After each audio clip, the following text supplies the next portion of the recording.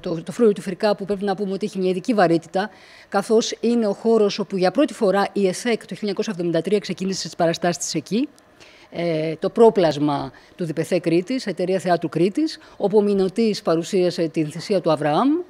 Είναι λοιπόν αυτή η επιστροφή είναι σημαντική, νομίζουμε, και συμβολική.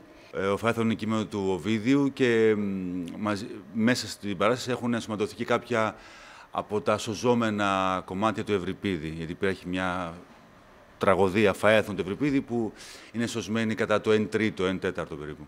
Ε, η διαδικασία ήταν πολύ απλή και συγκεκριμένη για στις πρόβες, ενώ για να προσεγγίσουμε αυτό το κείμενο. Είναι ένα, ένα, μια παράσταση κυρίως αφηγηματική, που μπαίνουμε οι ηθοποιοί και βγαίνουμε από τη δράση στην αφήγηση και αντιστρόφως. Η ιστορία αυτή με την οποία ερχόμαστε εμείς σε επαφή έχει θέσει πολλά ερωτήματα, θεωρώ, και ψάχνοντας όλοι μαζί στις πρόβες ανακαλύπταμε διαρκώς πράγματα.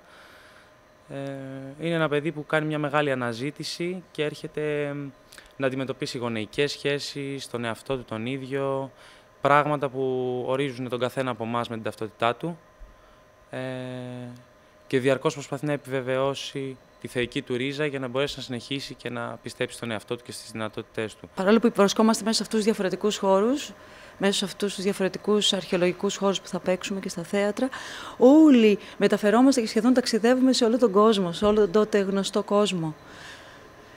Σε όλο το σύμπαν και όχι μόνο, μόνο, μόνο στη γη, ταξιδεύουμε και στο, στα αστέρια θα μπορούσαμε να πούμε. Ε, το ότι αυτή η παράσταση είναι όχι απλά μια, όχι μόνο μια τραγωδία, αλλά μια παράσταση που έχει και ρόλους και αφήγηση, ε, κάνει το πράγμα την, ε, τη στιγμή ακόμα πιο προκλητική, γιατί η αφήγηση είναι μια πανάρχια τέχνη του ανθρώπου, η οποία από πολλά χρόνια συνοδευόταν από ήχους και μουσικές. Δίνουμε την ευκαιρία σε όλους τους χανιώτες να αντιμετωπίσουν τα μνημεία με ένα διαφορετικό τρόπο.